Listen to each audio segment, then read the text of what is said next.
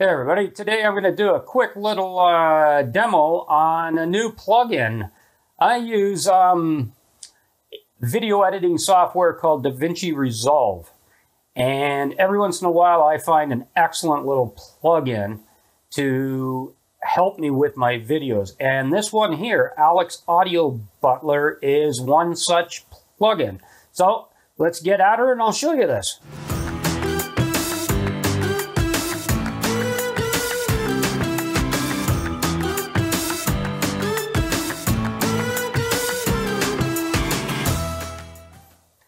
Okay, so here we are in DaVinci Resolve. What Alex Audio Butler does is using artificial intelligence automatically mixes your audio for you. So what I've done to uh, demonstrate how this actually works is I've imported a music track here and I've imported a sound effect here and I've set up a third audio track that is going to act as my voice track so that you can see how this all works. So to begin with, let's pull in the music track. And then we're going to pull in a sound effect and we're going to put it right around here somewhere. Okay. And then what we're going to do is we're going to listen to it back.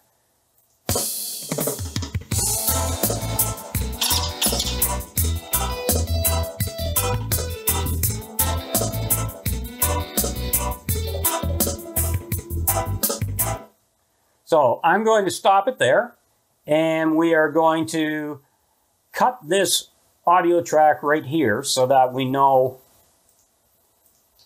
we're only dealing with a little clip. This is just to make it easier to uh, demonstrate what's going on. So now what I'm going to do is I'm going to record a audio track so that you can hear the audio in here as well. So let's go over to Fairlight. I've got my audio track here. I'm going to mute the actual track so that we don't get any echo or anything.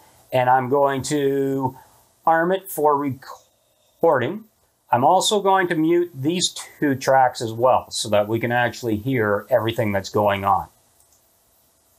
Okay, so now I'm going to go ahead and I'm going to record the track. I'm going to pause this for a second while I record that, otherwise we're going to get an echo back. Okay, so we're back now, and as you can see, I recorded the, the actual vocal track. I'm going to play it for you right now, and you're going to hear that you're going to barely be able to hear the vocals.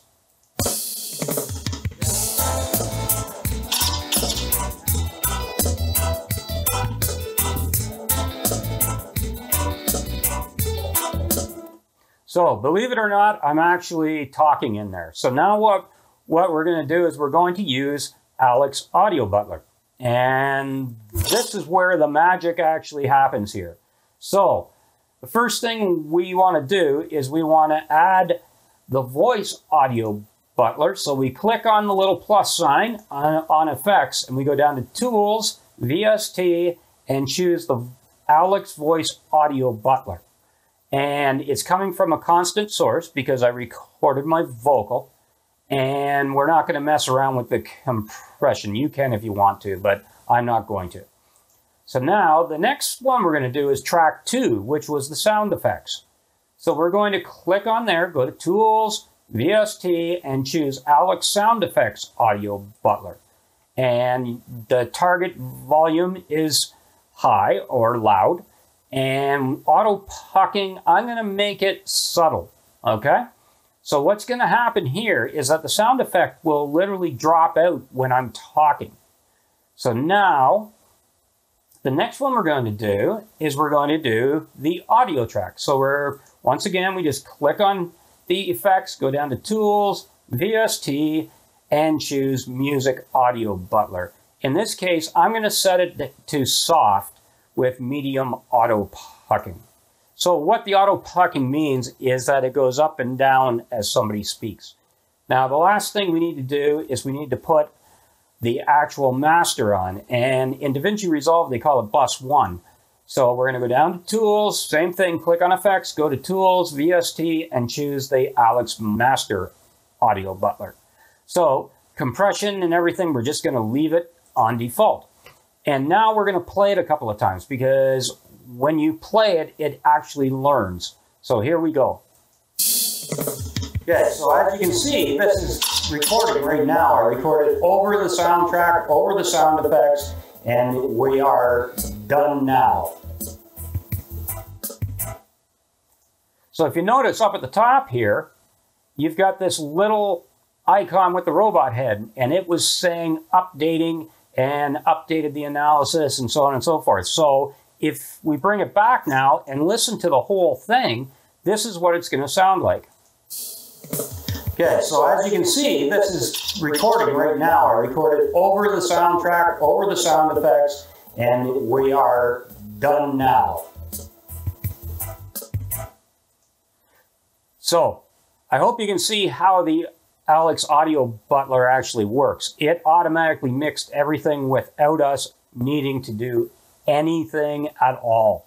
Now, there was a little bit of noise on, on the audio track because it boosted it up and my microphone was picking up noise. So as an added bonus, I'm going to actually show you another set of plugins that I use called Era 5. And this is actually really cool. So what I'm going to do is I'm going to click on here. I'm going to go to Noise Reduction, VST, and I'm going to choose the Era 5 Audio Cleanup Assistant. So when I click that, it comes up. I'm simply going to go down here and I'm going to choose VoiceOver Cleanup. And I have to do nothing else. Now listen to what this sounds like. You will not hear any noise whatsoever out of it. Okay, so as you can see, this is recording right now. I recorded over the soundtrack, over the sound effects, and we are done now. As you can hear, the noise disappeared. As soon as it learned about everything, the noise actually disappeared. You might get a little bit at the beginning, but you usually just clip it out. So let's listen one more time. Okay, so as you can see, this is recording right now. I recorded over the soundtrack, over the sound effects, and we are done now. So there you go. With the combination of Alex Audio Butler and Era 5, you can see that you can clean up almost anything. In this case, we didn't even need to clip off the beginning of the track because the noise just disappeared. So I hope you've enjoyed this little demo of Alex Audio Butler and the bonus of Era 5. And I will talk to you in the next video.